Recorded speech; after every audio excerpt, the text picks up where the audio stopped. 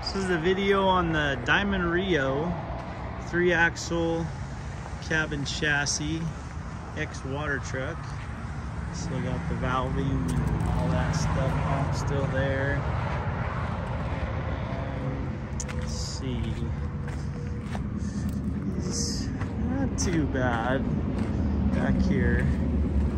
Up here a little bit of a little bit of window missing action front windows. We got a little start of a moonroof, sunroof. Uh, a few little little issues here and there.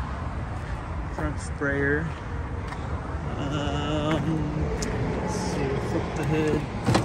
Show you the Moda Detroit diesel.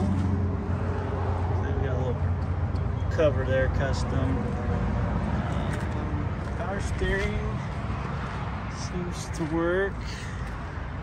A little cleaner on this side. So you can see the windshield, but better airflow when you're on the job. Um, put this down. She does got a couple air leaks, so we're gonna start her up. Starts up good. Just takes a while to build air.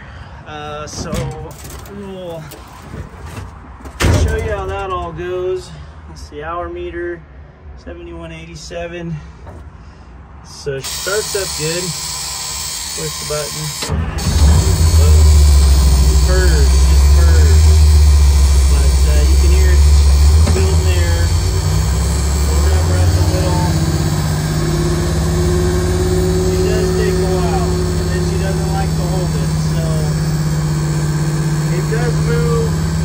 go forward, backwards.